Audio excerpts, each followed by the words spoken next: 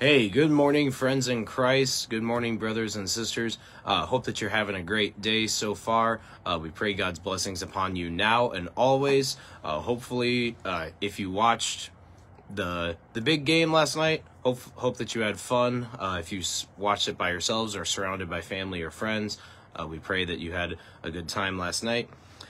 we in our house, we'll be honest, my wife and I, we watched the Super Bowl with some friends we we just enjoyed it for the game that it was. Um, we're a baseball household, so we kind of once the Super Bowl was over, we were like, all right, just a couple more months until baseball's right around the corner. So that's uh, that's what we're looking forward to. Let us know. Are you uh, more sad that football is over, or maybe you like baseball or summer? Maybe you're more excited that summer's on its way. I think that's something we could all uh, get behind, right? So just good morning to everybody. Good morning to those of you joining us. Uh, today we are gonna continue walking through uh, Luther's small catechism and looking through uh, the things that we believe as Lutheran Christians. And we are going to wrap up today. We're going to wrap up uh, looking at the Apostles' Creed. We're going to take a look at the third article.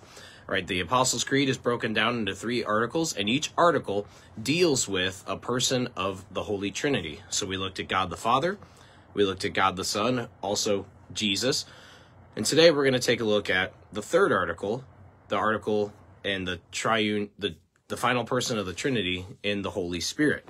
So, without further ado, like I said, I've got my catechism right here. If you've got a catechism, you can follow along. If you have a Bible, we're going to kind of, like I said, hop around a little bit in our Bible verses. So let's just take a look at the third article and let's take a look at its meaning. Third article I believe in the Holy Spirit, the Holy Christian Church, the communion of saints, the forgiveness of sins, the resurrection of the body, and the life everlasting. Amen. So that's where the article or the Apostles' Creed ends, right? We see that Amen, and it's like, okay, Creed's over. Well, what does it mean? What does it mean for us to believe that the Holy Spirit is God, that the Holy Spirit inspires us and creates faith in our hearts? Well, we have a pretty long explanation for uh, the third article of the Creed. So I'm just going to read Luther's explanation of what we believe in the Holy Spirit. What does this mean?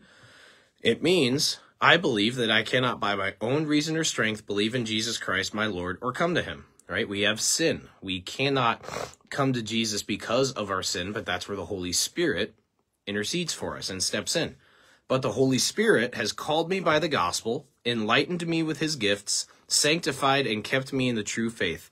In this same way, he calls, gathers, enlightens, and sanctifies. Sanctifies is a word that means makes holy or sets apart the whole Christian church on earth and keeps it with Jesus Christ in the one true faith.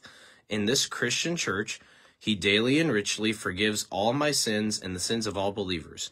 On the last day, all right, so when Jesus comes back, on the last day, he will raise me and all the dead and give eternal life to me and all believers in Christ.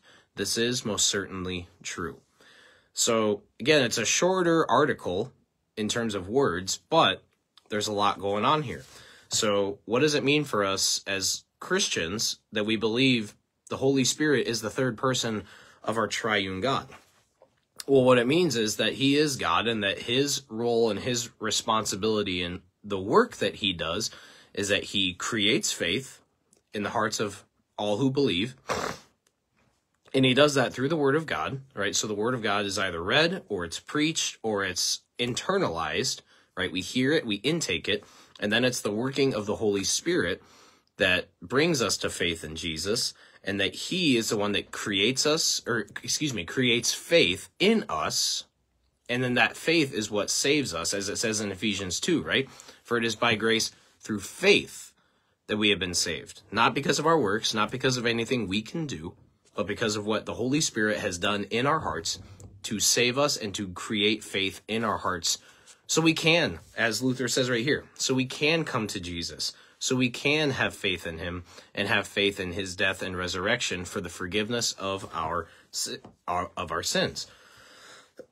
so there's a lot of uh, end times language, especially uh, in the last half of this explanation, right? On the last day, he will raise my body. He will raise all the dead. Okay? He'll raise all the dead. Those who have fallen asleep in Jesus, as well as those who have not believed in Jesus. Everybody gets a resurrection. But here's the caveat, right? Will all the dead be raised and go to heaven? Unfortunately, the answer is no.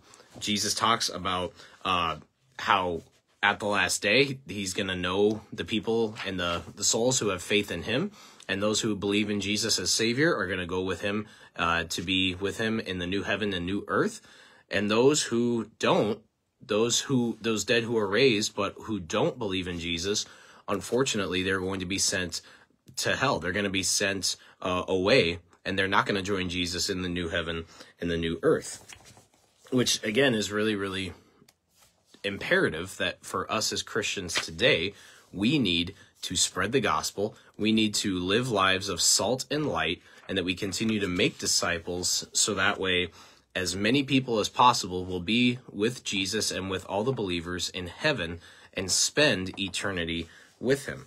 So, right, it says here, uh, what happens on the last day to those who reject Christ or who, or who are unbelievers? Uh, Unfortunately, they're sentenced to an eternal death. They're sentenced to forever or eternity apart from Jesus. And right? And unfortunately, we know this side of heaven, a consequence of of sin is death. So in some way shape or form, right, until Jesus comes back, everybody who's alive will die. We will fall asleep as the apostle Paul says. But we Paul calls death sleep for a reason.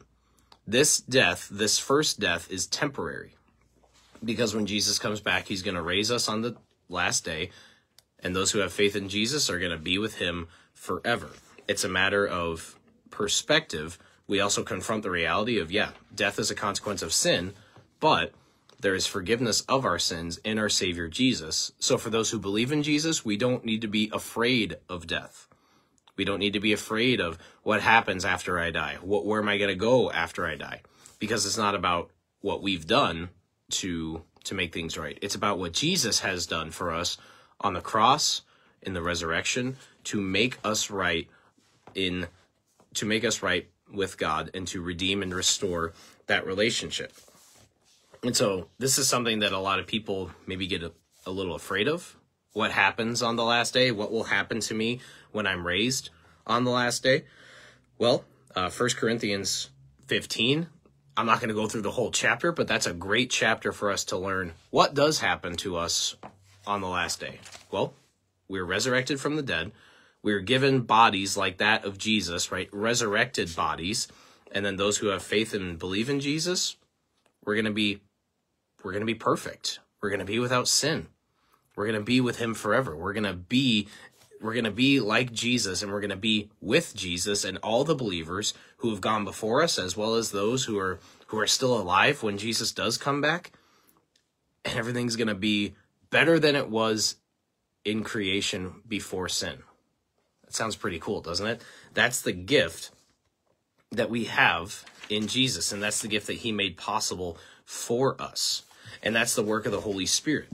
The work of the Holy Spirit is that all people, right, all people would come to saving faith in Jesus. Unfortunately, scripture says that when Jesus does come back, not everybody's going to believe. But the work of the Holy Spirit says, "Hey, we have a job to do. We have a we have a great blessing and great opportunity to live lives pointing people to Jesus." And that's not our work. It's not about the words that we say or the credit that we take for ourselves. That's the Holy Spirit working in and through us, giving us the words to speak in those conversations and in those moments, so that way we point people to the hope and the glory and the grace that we have in our Savior Jesus. That's the work of the Holy Spirit. That's what God is doing in and now. And that's the work that He's going to do until Jesus comes back. So it can almost feel maybe sometimes like we're pounding sand or that, oh, this isn't working.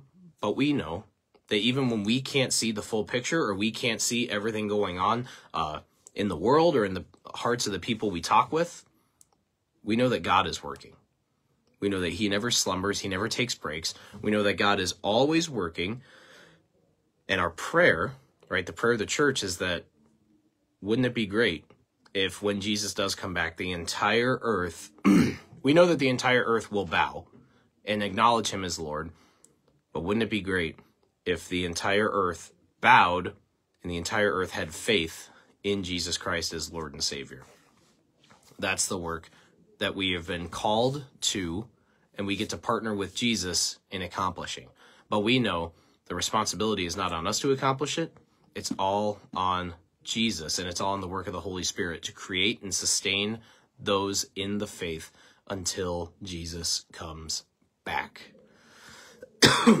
so, church, that's all that we've got for you. Uh, we're going to continue walking through our devotions and we're going to continue in the Word of God. But just want to wish you a blessed Monday. Uh, hope that you have a great day so far and hope that the rest of your day and the rest of your week is a blessing. We're so ex- we're really really excited. Sun or Wednesday is Ash Wednesday, so we're getting ready to launch into the season of Lent. We've got our Ash Wednesday services uh, this Wednesday, 4:30 and 6:30 down in the worship center. So we'd love and invite you to join us for those services as we launch into the season of Lent, as we get ready to follow Jesus to the cross and ultimately follow him out of the tomb in the resurrection as we celebrate and look forward to Easter. So have a great rest of your day. God's blessings on your Monday, and we'll talk to you real soon. Bye bye.